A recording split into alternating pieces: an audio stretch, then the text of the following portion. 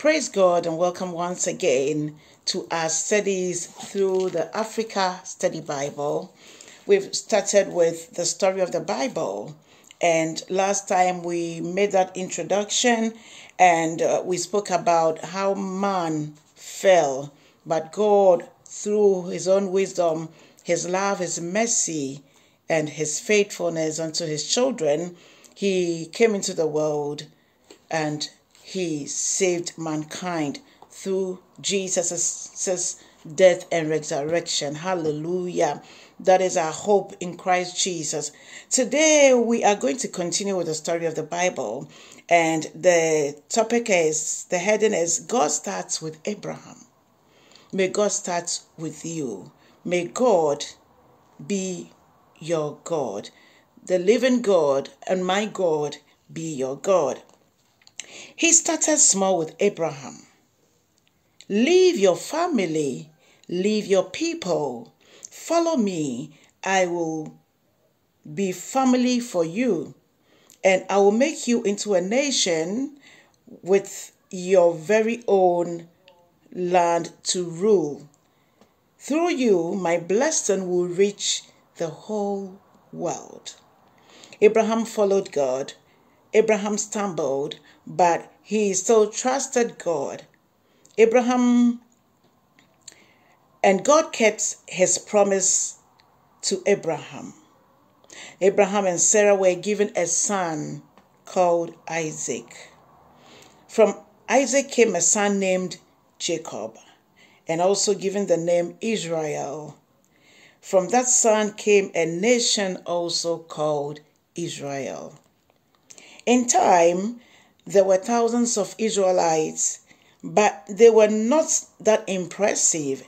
They lived as forceful laborers in Egypt, and the government was trying to destroy them. God called Moses to lead them and told the people, and I quote, I will rescue you. Come to me, meet with me in the desert, walk with me be my people, live my way. Hallelujah. I will give you your own rich land and own garden. And through you, my blessing will reach the whole world. People of God, isn't it lovely? Hallelujah. God rescued them by opening up the sea the towering cloud and fire of his presence merged with them. But the people still had Adam's sinful nature. Before long, they forgot the blessings. They complained. They complained. They disobeyed. They said, Let's go back to Egypt. They said, Let us make our own gods and worship them our own way. So God punished them. So it means that anyone worshiping any other God besides God is awaiting punishment. We should be careful. Hallelujah. So God punished them, but He did not leave them. In spite of what they did wrong, He took them through the desert and gave them their own land. They marched in, led by Joshua. They watched city walls fall down and conquered the communities. They renewed their promises. We will live as God's people, they said. We will show what He is like to the world.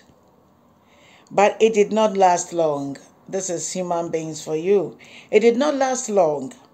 Let us be let us be like everybody else was the easier way to live. But they belonged to God.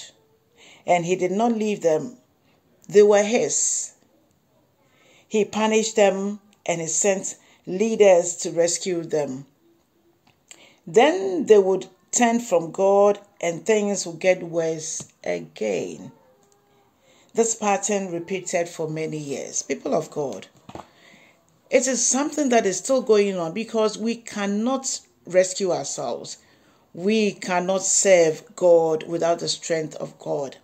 We cannot say we are serving God through our works. No, we have no power of our own. People of God, we have no power of our own. The Bible says that He came to seek and to save that which are lost.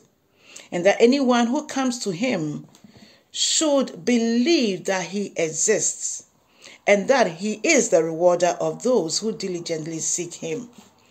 People of God, are we striving to know the Lord?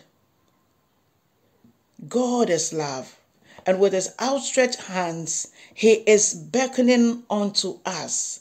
Come unto me, all ye that labor and are heavy laden, laden, come, and I will give you rest. People of God, God is ready to save you. If you have not accepted Him as your Lord and personal Savior, this is the time, this is the moment, especially in these evil days.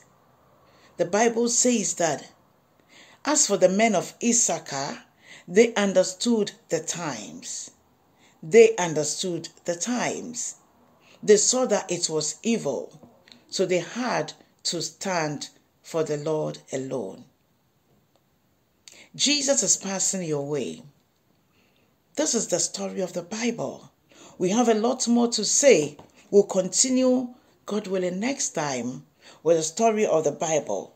But I just want you to know that God loves you. It does not matter the situation in which you are. People may condemn you. People may judge you because of, of your past life. But remember that God is God, and that when we come to Him, He forgives us of our sins and He cleanses us from all unrighteousness. He loves you. You are special to Him. That is why Jesus had to come to die for you. And He needs you. He needs you. He wants to be your God. So He stands at the door of your heart knocking. If you only hear His voice and hearken unto Him, he will come and sup with you and you with him. If you already know Jesus, you need to grow in him. You need to grow in him. God bless you so much. I will come your way next time with a continuation of the story of the Bible. God bless you. Have time for the Word of God. Meditate on the Word of God. Pray without ceasing. Wherever you are, beckon unto the Lord, and He will abundantly pardon. God bless you. Bye bye.